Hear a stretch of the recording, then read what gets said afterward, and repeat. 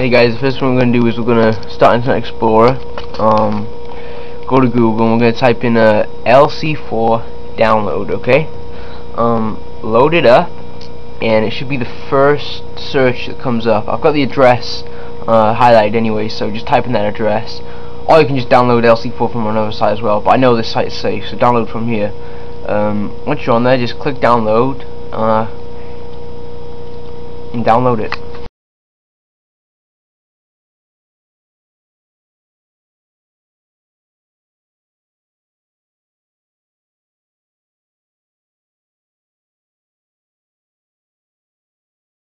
Now once you download it, we're going to install it. You just go to the file you downloaded to, click the setup button. Um, just basically do whatever you do to install the thing. You probably know what to do on your computer. Um, it's really simple. Click next a lot. Um, once it's installed, uh, we'll move on to the next step.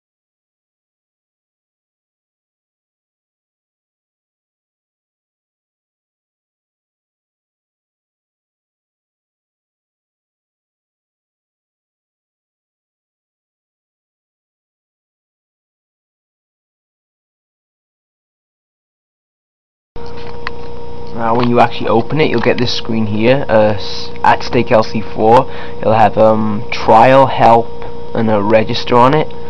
Um, we, that means we've only got the trial version, so we're gonna have to go to this site first to download a crack software for it. Um, I'll just put it put it up uh, bigger here so you can see what it is. Um, there we are. Go to that site and download that crack uh, from the link.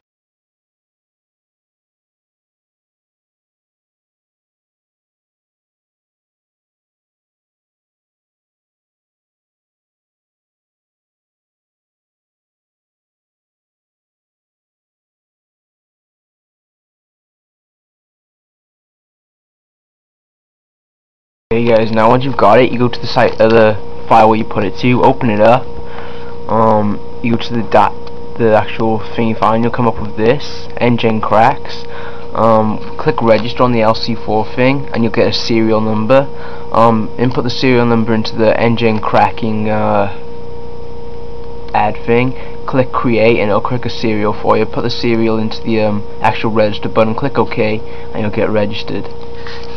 Easy as that.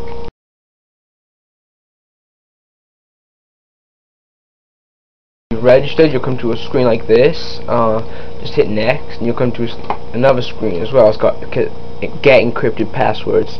We've got fortress. We've got retrieve from local machine, retrieve from remote machine, retrieve from emergency repair disk, retrieve from sniffing the local network.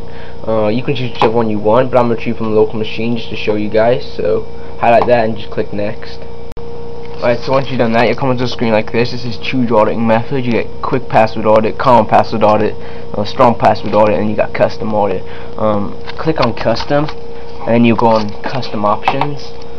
Um, we'll have a few other things as well. We have a box called perform dictionary attack on the password, perform hybrid attack, dictionary attacks, perform brute force attack. We're going to use brute force attack.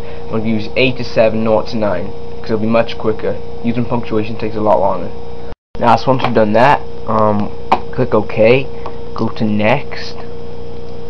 I also display passwords and audit, display encrypted password hashes, how long each audit each password, display auditing method.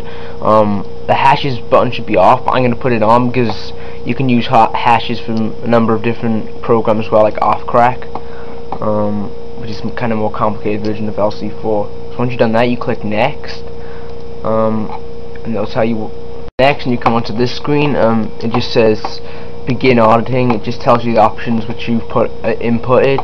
Take a look to make sure everything's right, and click finish, and the audit will begin. Um, on this side, you get dictionary status, brute force, summary. We've just chosen brute force attack. It'll do a quick calculation as long as it's going to take. It's not going to take too long, depending on the size of the password, but it does hack any password within, say, know, an hour or two, depending on how fast your computer is. It's really good.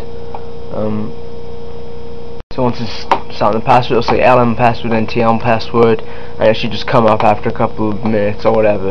Um, just be patient and you'll get the password. Thanks for watching my videos, guys. Hope it's helpful. If you got any questions, just message me. Um, once again, make sure you use it for fair purposes. Don't use it for anything illegal, you know, like hacking your school computer. You've been hit by, you've been hit by a smooth Thanks for watching. Any questions.